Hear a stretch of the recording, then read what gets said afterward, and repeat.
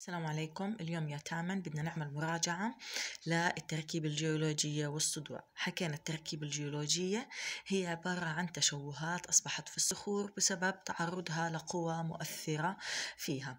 طبعا حكينا عدة عوامل آه، أدت إلى هذه التغيرات أو إلى أشكالها هي إما تركيب معدني للصخور أو درجة الحرارة.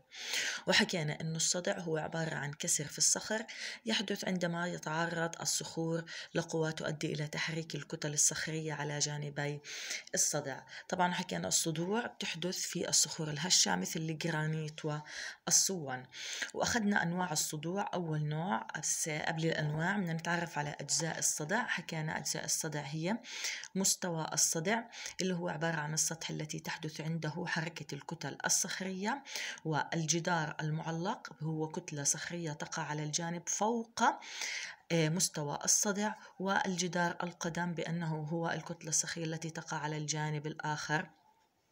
اللي هو تحت مستوى الصدع يعني جدار معلق على الجانب والجدار القدم على الجانب الآخر. حكينا عن أنواع الصدوع حسب حركة الكتل الصخرية بنقسمها لثلاث أنواع صدع عادي وصدع عكسي وصدع جانبي.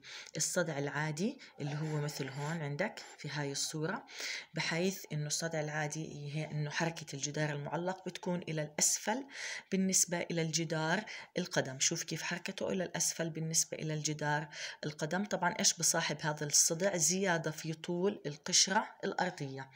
أما الصدع العكسي اللي هو المعاكس له بحيث تكون حركة الجدار المعلق إلى الأعلى بالنسبة إلى الجدار القدم ويصاحب هذا النوع نقصان في طول القشرة الأرضية.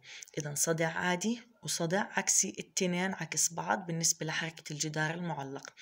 النوع الأخير من الصدوع اللي هو الصدع الجانبي حكينا بيتحرك حركة أفقية ما بنقدر نميز مين هو الجدار المعلق من الجدار القدم مثل عنا هاي الصورة كيف بتحرك الجدار المعلق والقدم حركة أفقية ما بنقدر نميز مين هو المعلق من هو القدم وما بيأثر ولا أي شيء يعني ما بيعمل لا زيادة ولا نقصان في طول القشرة الأرضية.